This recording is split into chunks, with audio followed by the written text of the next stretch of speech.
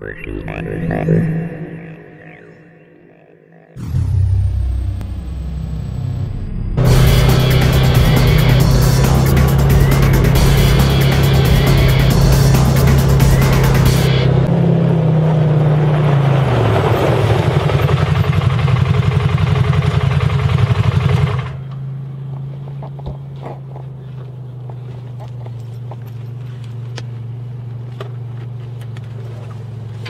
Hi, I'm Mark Essola, Engineering Product Team Manager for Arctic Cat, and we're here today to talk about the all-new 2012 Wildcat.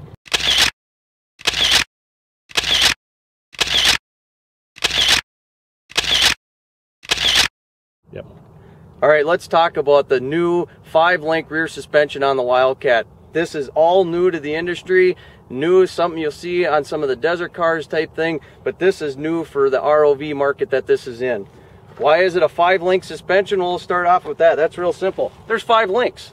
You count them, there's two trailing arms and what we call three lateral links. And why would we do a five link suspension?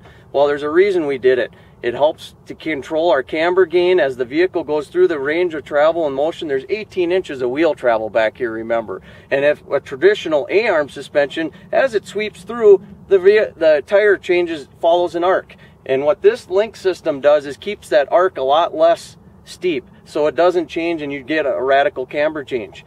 The other reason we did that is when you have five links, you're distributing the loads. You got to understand as you're riding down the trail, you're hitting ruts or whatever, there's loads getting inputted to the wheels. And if you have five links, it's just spreading the load to five different points. Makes the vehicle stronger. When we also look at this rear suspension, so we talked about 18 inches of wheel travel. We coupled it with a Walker Evans adjustable shock. Now this thing has a ton of adjustability. So it get, you can play around and customize the ride to what you're looking for or what you're seeing out there. So we'll start with the shock itself. Up here on top on the reservoir, you'll see there's an adjustment up here. That's your compression adjust. That adjusts the compression dampening as you're going through. So maybe you want a softer setting, maybe you want a stiffer setting, depending what you're riding. Maybe you have a cargo back here, but you can tune that in. Not only do you have that adjustability in the shock, but you also have two preload adjusts. Now this is the primary preload adjust up here. You can adjust that and that'll adjust the ride height. Maybe you want more or less ground clearance. Maybe you have, again, more of a load. So you'll crank some preload into it.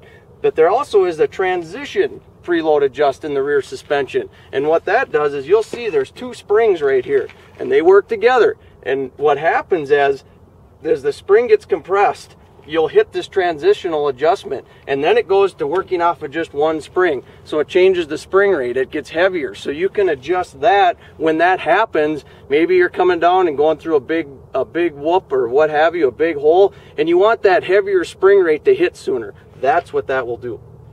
The other thing we want to point out with this rear suspension typical of the Arctic Cat vehicles all these suspension bushings maintenance free there's a lot of motion here. We have spherical joints we have a U-joint up here, util utilizing materials inside so they're maintenance free. No grease zerks, just simply get in and ride the vehicle. And then also you gotta remember, part of the suspension too is we got new rear tires and a new rear wheel coupled with that.